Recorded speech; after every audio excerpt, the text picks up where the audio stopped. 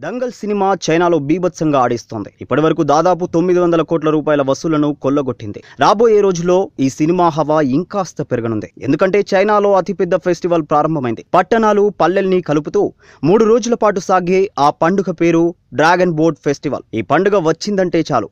చైనాలో ఆఫీసులు స్కూల్స్ అన్నింటికీ సెలవులే. రైళ్ళు బస్సులు టాక్సీలు అన్ని జనాలతో కిటకిటలాడిపోతాయి. ఇక్కడ సంక్రాంతికి ఎలా ఫ్లోటింగ్ ఉంటుందో చైనాలో దేశవ్యాప్తంగా డ్రాగన్ బోట్ ఫెస్టివల్స్కు జనాలు పోటెత్తుతారు. నదీ తీరాలకు లక్షల సంఖ్యలో ప్రజలు చేరుకుంటారు.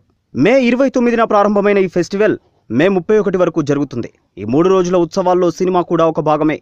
డ్రాగన్ బోట్ పోటీలు లేనప్పుడు జనాలంతా థియేటర్లకు ఎగబడతారు. సో ఇప్పటికే మౌత్ టాక్తో దూసుకుపోతున్న దంగల్ సినిమాకు ఈ రెండు మూడు రోజుల్లో భారీ స్థాయిలో వసూళ్ళు వచ్చే అవకాశం ఉంది.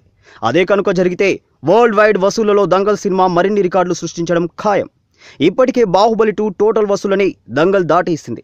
ఇప్పుడు వసూళ్ళ పరంగా Indian number one movie Dangal.